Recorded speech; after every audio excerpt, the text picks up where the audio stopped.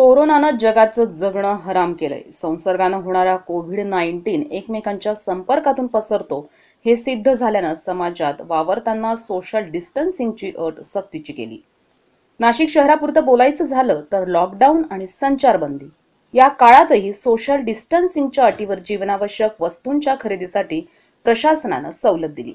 मात्र त्यांचा अनेक ठिकाणी गैरफायदा घेतला जाऊन सोशल डिस्टन्सिंग पाळलं जात नसल्याचं लक्षात आल्यानं अनेक ठिकाणी बाजार बंद करण्याचा निर्णय प्रशासनाला घ्यावा लागला.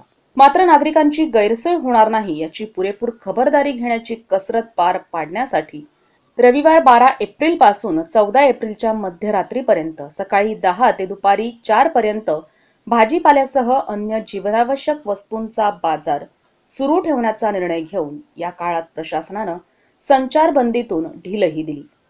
याचाही गैरफायदा घेताना नागरिक बेजबाबदारपणे वागत असल्याचं गंगा घाटावर भरलेल्या भाजी बाजारातील गर्दीवरून दिसतं.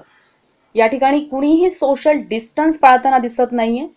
प्रशासनाच्या या संवेदनशीलतेचा अधिक अंत वाहणारी जनता जबाबदारी ओळखणार नसेल तर लॉकडाऊनची अधिक प्रभावीपणे अंमलबजावणी करण्यास प्रशासन मजबूर होईल तेव्हा उगीच बोटं मोडण्याशिवाय अन्य पर्याय हातात उरणार नाही. म्हणून हा असा बेजबाबदारपणा टाळायला हवा. जागर जनस्थानसाठी संजय परमार नाशिक.